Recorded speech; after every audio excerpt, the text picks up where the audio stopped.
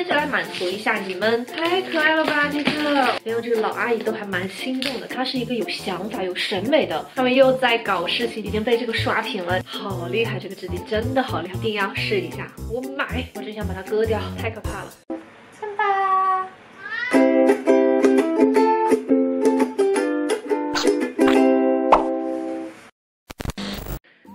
欢迎来到毛蛋的视频，又见面啦！今天呢，蛋儿带着最新的国货资讯来跟大家分享。最近我买了，然后也收到了一些国货的新鲜血液，我们今天一起来开箱。哎，大家的钱包今天可能又要被调戏了，有几个产品真的让我觉得行，你厉害，我买，太可怕了。感兴趣的话就继续往下看吧。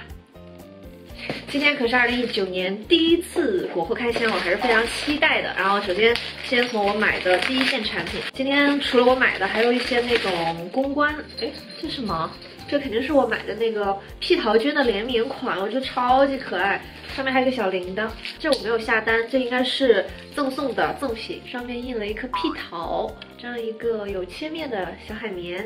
我对他家印象还是蛮好的，因为他们包装做的也比较的用心。我记得我有买了他家两支唇釉，都是屁桃的联名款。这个呢就是他们唇釉的包装，里面的包装是长这个样子的，反面就是这样的。买了这两个色号，然后里面好像还有一些小珠光呀，还有可爱的小贴纸。哇这个也太可爱了，也是一个这种小宣传册吧，这应该是，因为这个在过年的时候就看好多蛋仔给我推荐，毫不犹豫的就去下单了。这就是屁桃联名的眼影的包装，噔噔，它今天跟我的外套还蛮搭配的，就是这种复古的调调。但是它的盒子是稍微有点厚厚的。说实话，我觉得这个配色没有说一眼抓到我，哎，这个盘子是土色的，在这盘子里显得会不是那么的亮眼。然后颜色呢也都是属于低饱和度的，就不是那种特别鲜艳的色系。然后是有三块珠光，三块哑光，颜色还蛮少的。其实性价比没有说特别高，但是它总体包装呀各方面都是蛮用心的，就属于比较适合送人的。这个快递应该就是我买的橘朵的一些新品了，啊，有的可能不是新品，但是第一次试。尝试，感觉橘朵这个品牌蛮值得挖掘的嘛。单色眼影抠盘后壳别扔了，可以换新品嘛？我家有一堆他们的外壳，不知道是不是真的能换到东西。看上去就是价格很实惠的感觉，那他家确实性价比会稍微高一些。这次选它的粉底呢，不好意思，我最近这个鼻炎实在是有点严重了。现在虽然就是春天已经到了，大家也别着急了捡衣服啊。一定要注意好身体，因为他们家这个粉底液出了非常多的色号，我觉得还是蛮贴心的，所以我就买了一个感觉应该比较适合我的一个色号，是二十六号。但是这样看是不是有点浅呐？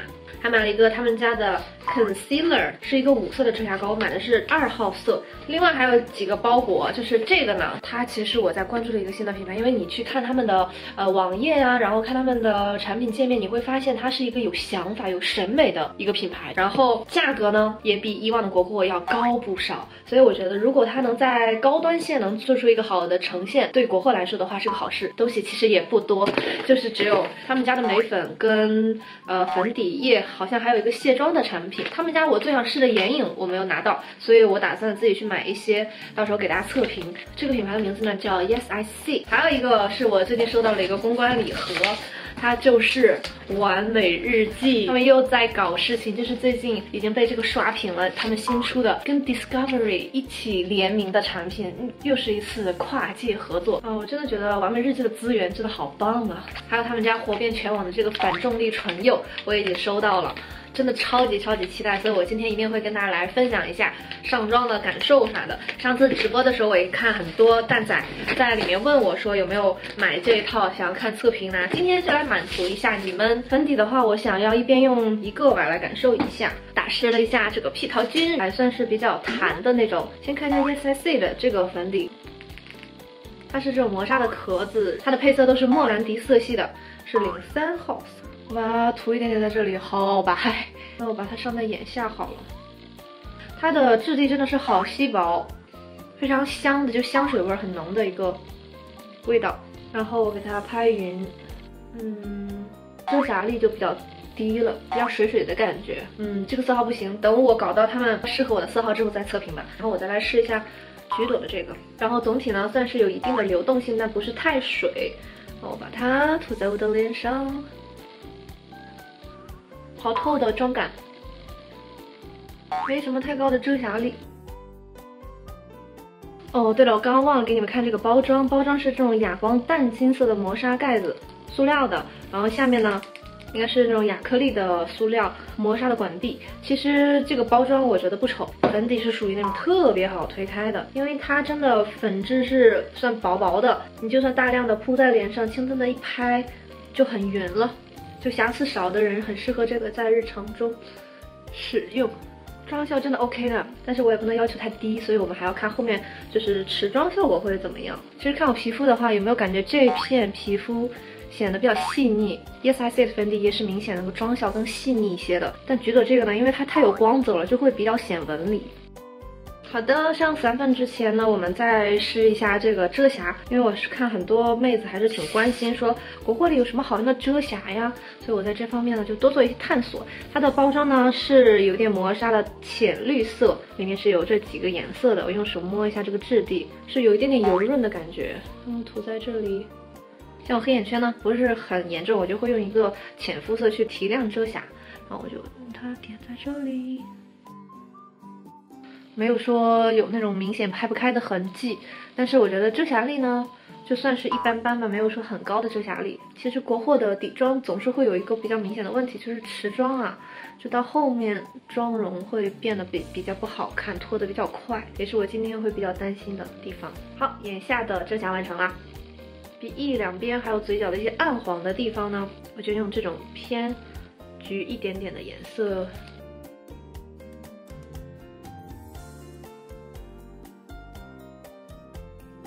没什么太大的问题，整体的粉质是很服帖的。像里面有点泛红的地方呢，我就会点一些绿色的先拍上去，薄薄的一层，然后再点一些深肤色拍上去。总体还是比较适合新手，不需要化那种大妆，稍微去遮一遮那种小斑点，或者是提亮一下脸上是可以用的。然后我来快速的定一个妆，然后整体跟脖子的色差其实还好。接着眉毛我们用这个产品，这个叫做 Yes I Say 的自然生长眉粉，它的包装上面是这样的，可以感受一下这个品牌的调性。哇哦，这个手感。也是那种磨砂的质地，边缘是非常圆润的，还蛮有重量的。这个是磁吸的包装哦，里面呢就是有一个小刷子跟三个颜色的眉粉。这个刷子呢是那种非常宽，然后非常扁的。它有一个颜色呢是属于那种深的棕中带有一点绿的颜色，这个色号呢是比较适合黑发来用的。然后下面这个颜色呢是一个深黑发蓝的一个颜色，可以用来加深你的眉毛。上面还有一个淡色的，它就是那种缎光丝绒光感的偏肤色的一点的颜色。我最近修的眉毛比较细，然后我们来拿它来画一下。先沾这个颜色，然后我们这个眉头呢再往下稍微的压一下下。但是我就觉得眉峰这块描的不够精细，换了一把刷子，画起来就好很多了。嗯，总体上来说，我感觉对于黑发色的女孩，这个眉粉的颜色选的其实是很科学的。我再取这个浅色的，给眉骨提提亮，然后我再用它来上一下鼻梁。我这个用来做鼻梁的高光，眉骨的高光。就那种拔地而起的效果是非常非常明显的，但是同样这个产品还是有很多缺点，就比如说它这个包装呢很容易脏，然后价格呢是略高一些的，自带的刷具也是不好用，并没有到很推荐的地步。好，接下来到眼影了吧？我先给大家看一下这两个眼影，我收到的时候是完全眼前一亮的，我觉得他们这次主题抓的很好，他们是因为跟那个探索频道在合作嘛，就是那个 Discovery，所以呢是以这种野生动物的形象为这。怎么说灵感吗？来做了几套眼影，然后配色也是由这些动物这些色彩为灵感搭配出来的。我刚刚摸到这个包装的时候，就把那个塑料壳一拿，我觉得它的手感真的很好。不知道你们能不能看出它有一种凹凸不平的立体感。前面这块印刷呢，也是有做一些小的设计。配色我刚打开的时候也是觉得，哎，还不错，是最近特别流行的。幻彩的珠光，因为它里面添加了别的颜色的那种贝母珠光。这块打底色上面还印着那种小猪鼻子的形象，然后还有一个是以老虎为灵感的一盘。那它的颜色呢，是一盘以金色、土色、黄色、棕色为主调的配色。这盘的这个颜色呢，也是一个做了混色的炫彩珠光质地。好像他们家不是做了四款不一样的配色吗？每一个配色里面都有一个这种非常亮眼的、非常特别的这种质地。这里面的珠光、哑光跟闪片色的搭配，我觉得还蛮合理的。就你看上去能一眼感觉到，哎，我该怎么去画？其实我今天是比较想画这盘要有春天的气息。我把这个颜色刷在手背上给你们看一下，就是这个颜色哦，摸上去是比较糯软的质地啊，没有说压粉很实，一一下子能取到非常多的粉。哦，这个看上去就比较偏光了，这个颜色。粉色珠光里面呢，带有一些金色的闪片，再刷一下 Dewy 这个颜色，刷在这里。是的，是带有一些蓝色偏光的，很明显是一个 Burgundy 的那种深酒红色。珠光的质地做的都蛮好的，就是延展性上都没什么毛病可以挑。再是两个哑光色，哦。这是个蜜桃色，这是一个深棕色，我觉得这个深度完全是我想要的那种，可以很明显加深眼尾的那种颜色。右上角这个颜色刷一下，嗯，这个真的很适合当修容，我今天就用它来修我的鼻影好了呀。这个质地好神奇，这个 blossom 这个颜色。好软呐，可以压出纸印来，看到吗？并且它也是一个偏光的颜色，哎，是一个这种颜色，哎。记得当时有分享过他们家大英博物馆的联名哈，我就有提出说他们家质地做的不是很丰富，但是这一次在这方面我觉得是做了很大提升的。里面呢有自带一个这种小刷子，我看了一下是比较实用的那种刷型，然后毛呢也算是比较软。应该是可以使用的，待会儿我来试一下。我先用我这个摄影刷里面的这个扁刷子来沾取右上角这个修容色，沾一点点，我感觉蛮显色的，并且这个盘子很好取色。先去修一下我的眼窝，连接我的鼻梁。哇，我喜欢这个修容色，蛮适合黑黄皮的，很容易出效果，并且色调上有一点点偏暖。然后我取这个，用这个蜜桃色，用它来。扫一下整个眼皮，这其实也是一个很好看的腮红色，它的颜色都是很基础日常的。带一下下眼睑，然后呢，我来取这个颜色，刚才没有给大家试色，这个颜色是一个深玫紫色，自带的刷子去扫一下，会稍微有点飞粉，一定要少量的取色，然后压着眼尾打上去。再选一些这个棕色，再去压一下这个红色。这个刷子做一些简单的晕染是 OK 的，稍微加强一点点的卧蚕。然后我用这个扁刷，这种扁刷呢比较适合取这种松软一点的珠光色。然后直接点缀在眼球上，然后再取这个去打在你的卧蚕上，这样眼睛真的是有一种湿漉漉的感觉。好，这个眼妆画好了。今天的眼型画的比较下垂一点，是一个偏韩系眼妆的画法吧，就是也卧蚕呢也比较突出。眼睛上带有一点点小小的 bling bling，然后色系呢也是这种粉粉嫩嫩的，配色非常好 hold 住，我觉得很适合新手。深棕色够深，然后就闪片色、珠光色呢也比较的丰富，在这种比较常见的粉嫩色系的眼影当中，又比较有自己的特点，我这个很喜欢。就算是一个不是很俗气的桃花盘，很适合这个季节。那如果你有这个需要的话，是非常非常推荐的，很有品质的一个眼影盘。这个老虎盘这次就没有时间试了，下次再给大家试吧。还有那个批桃盘，下次再给大家试。然后前段时间我还有收到这两个产。产品我已经打开过了，所以就不在开箱里面给大家看。首先这个盘子，就看它的包装的话，是非常宫廷国风的感觉。蒂佳这个品牌的盘里面还蛮有变化的，它应该算是一个高光加腮红的盘子。然后因为这个颜色应该是当腮红的，但是我摸完之后，我觉得这个颜色就是一个非常珠光的橘色。当腮红的话太亮了，但当高光的话呢，它的颜色又太鲜艳，这个颜色有点尴尬。这个粉色的跟五花肉一样，不怎么取粉，你看到吗？剩下这两个颜色呢还 OK，一个是右上角这个有点。肤金色，蛮好看的高光色，很亮很透的质感。另外另一个上面有些紫色的花纹，颜色比较偏冷一点点的淡淡的粉紫色。然后它的价格其实是蛮便宜的，但是我综合考虑下来，我觉得还是没有优秀到非要给大家推荐，因为它有两个颜色真的是有点尴尬，所以你们自己去判断。还有一个盘子是我摸过之后觉得蛮喜欢的，这个是菲洛尔的一个高光盘，非常便宜，并且这四个颜色。都算是能用到的。你看，我摸一下，它非常显色，黄油一般的那种糯软的质感，很丝滑的质感，我都涂在这里。它的颜色呢，也是从偏光色到一些日常的颜色都有，然后质地呢都算是比较细腻的，妆效没什么问题，就是一个性价比很高的高光盘。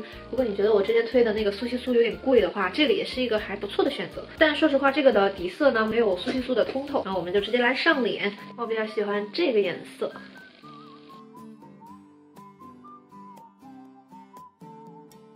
它会让你的皮肤质感是很光滑的感觉，这个高光还是不错的。好，最后噔噔噔噔，给大家来试一下这些反重力唇釉。我现在手上所有色号都齐了，所以给大家来一个全面的刷色，然后选出我觉得很好看的几支。它首先外壳呢还是一贯的完美日记的这种黑色的风格，然后打开里面呢，噔噔。是个小金条的感觉，底下呢是有一些透出那个唇膏颜色的，在这里可以判断颜色，大气简单的一个设计。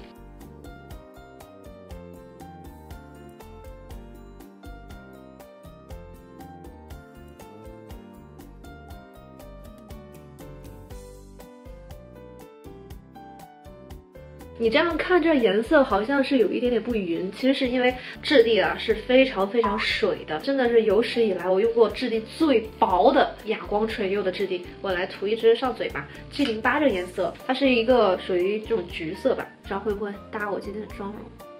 它这种橘色是很鲜亮，很适合春夏那种感觉的橘色，就里面的红色调会比较明显一些。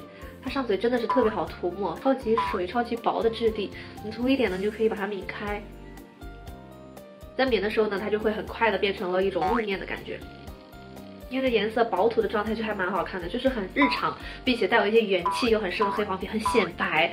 它不是那种很俗气的，呃，荧光橘色，它是透着一点点的粉色调，有一点既又深橘色，又有一点血橙色的那种。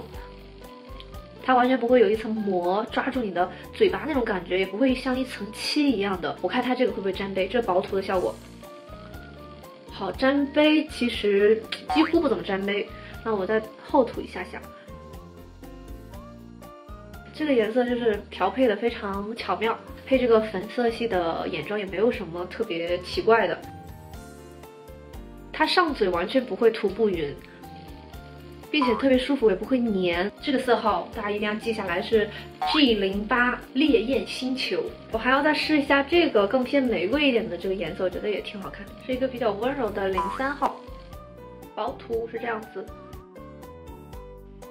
嗯，好像是有点巧克力味道的。最喜欢的点呢是它会带有一些灰色调，这个灰色调是恰到好处的，这个灰色调呢就会显得质感更高级一些。其实我刚刚刷在手臂上的时候没有说太有感，但是上嘴之后，我觉得这个颜色怎么会显得那么好看呢？所以我就分析了一下，是它会稍微透出一点点你的唇色，能够很贴你肤色的一个颜色。你们一定要试一下。你们觉得这两个颜色哪个更好看一些？可以留言告诉我。我觉得它基本上也是不会特别容易显唇纹的那种质地。好厉害，这个质地真的好厉害，外面日记太过分了。好，今天的视频就到这里分享完了。呃，有一些东西还没有上脸呢，下次比如说 get ready 啊或者什么的时候再给大家来分享。可以留下你们最感兴趣的产品，还有你们最种草的，在弹幕或者是评论。喜欢这期视频，别忘了。